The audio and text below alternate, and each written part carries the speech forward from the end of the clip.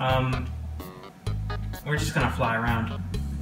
It's one of those documentary kind of tours. Oh god, okay, documentary, documentary, documentary.